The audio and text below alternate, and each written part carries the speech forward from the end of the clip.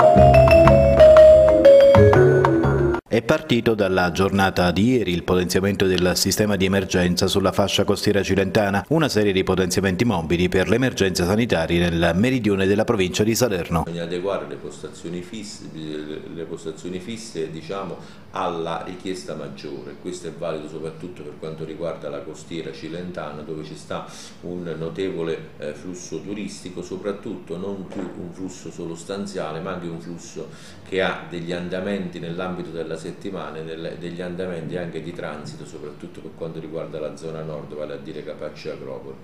Questo eh, significa che d'estate le nostre postazioni devono oh, aumentare e questo è stato oh, ovviamente eh, la, il punto di partenza per quanto riguarda il potenziamento estivo.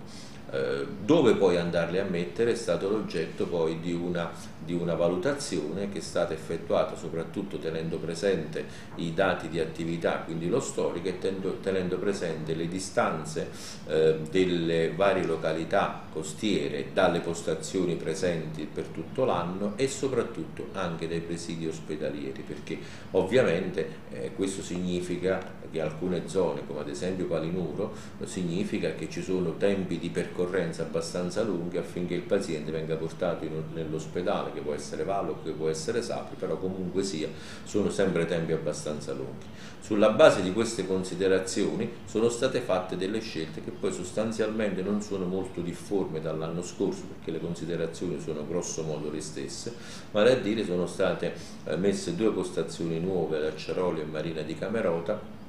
completi in H24, quindi con medico infermiere, autista soccorritore ambulanza e poi sono state rafforzate le postazioni di Santa Maria di Castellabate e di Ascea. Santa Maria di Castellabate perché in effetti si trova in una zona nord dove dà una mano anche a tutto il territorio tra Castellabate e Agropoli, e, oltre a quello fino ad Acciaroli, e Ascea perché in effetti serve anche di rafforzamento a tutta la fascia costiera che diciamo insiste tra Ascea e Casalverio. Si è preferito fare questo tipo di operazione perché eh, costituendo una, una, struttura centralizzata in un posto, vale a dire a Castellabate, ad Ascea, questo consentiva anche l'afflusso di eh, pazienti diciamo, ai, ai, ai, ai, SAUT che quindi eh, possono garantire anche una serie diciamo, di postazioni come so, misurazione di pressione, laddove il paziente non si sente bene, perché questo non è che fa parte del ruolo diciamo, istituzionale, ma ci possono essere dei problemi di questo genere,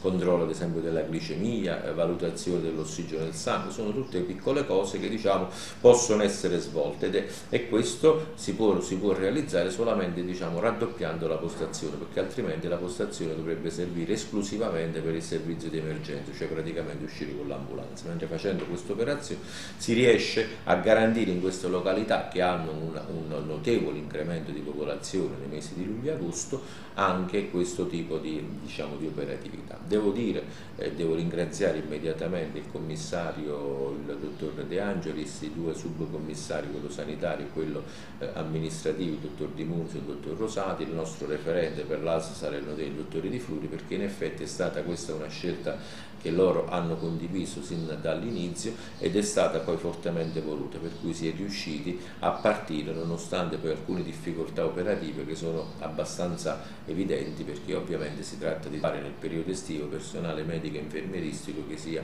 in grado di fare da supporto in un periodo in cui poi notoriamente eh, si va in ferie e quindi ci sta questo altro tipo di, di situazione.